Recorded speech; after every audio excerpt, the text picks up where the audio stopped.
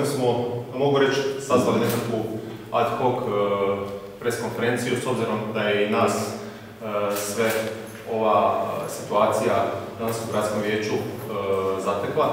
Je, najbliže surađuje sa gradonačelnikom Ivanom Penalom.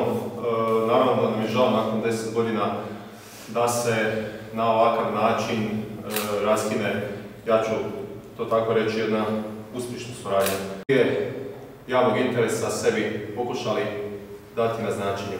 Upravo zbog toga nismo htjeli sjednicu gradskog vijeća, niti e, tiskovnu nakon toga e, da nam sve ove bitne odluke, da nam zamaknu stvari da, da njihov odlazak to sve onako nekako zamagli.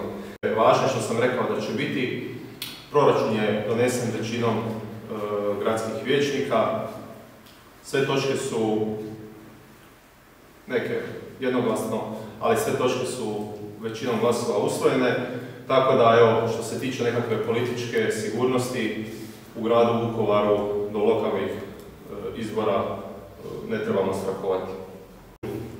HDZ-a i domovinskog pokreta, koliko god je to nekom teško za prihvatiti, trenutno stavila na nacionalnoj razini, međutim što se tiče lokalnog nivoa još ništa nije dogovoreno ne bih htio ulaziti u, u, niti govoriti u njihovo ime.